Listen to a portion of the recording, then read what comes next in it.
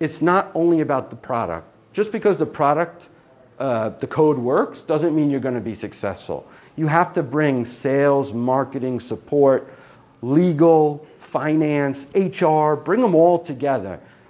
Make them feel like they're all part of the team that's launching this product. And then when you need marketing to go the extra mile and do some extra campaigns for you and really help you with SEO, and you need sales to really do the legwork, they're going to want to do that because it's all a team doing a launch, not you, the product manager, just launching your product.